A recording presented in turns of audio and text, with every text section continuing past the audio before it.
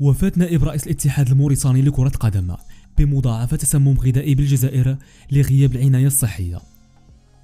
تسبب تسمم غذائي بالجزائر في وفاة المسمى قيد حياته أباب أمغار نائب رئيس الاتحاد الموريتاني لكرة القدم بمدينة وهران على هامش مباريات الشان ونقلت مصادر محلية أن المسؤول الكروي الموريتاني كان بصحة جيدة برفقة بعثة بلاده قبل أن يفارق الحياة مباشرة بعد تناوله وجبة عشاء بمدينة وهران.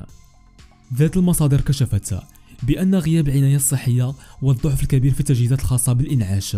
تسببت في وفاة المسؤول الكروي الثاني في الاتحاد الموريتاني ليكشف عن حجم الضعف الكبير للبلد المضيف في توفير الاستشفاء للبعثات المشاركة والجماهير الأجنبية التي غابت عن المباريات. إن لله وإنا إليه راجعون.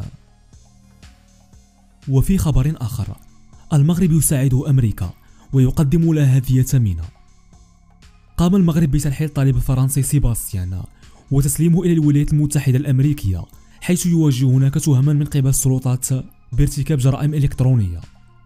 وذكرت وكالة إف بي ذلك نقلا عن مصدر في الشرطة المغربية وأضاف المصدر أن تسليم سيباستيان جرى الأربعاء على متن رحلة جوية من مطار الدار البيضاء إلى نيويورك وتم تنفيذ العملية من قبل عملاء مكتب التحقيقات الفيدرالية.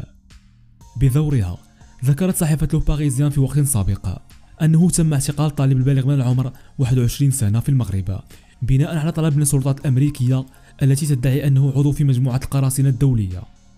وأشارت الصحيفة أن المدعو متهم بارتكاب عملية احتيال عبر الإنترنت والاستيلاء على بيانات شخصية. وبحسب محاميه فيليب في الولايات المتحدة فإن سيباستيان مهدد بالسجن لمدة تصل إلى 116 سنة. نشكركم على حسن المتابعة.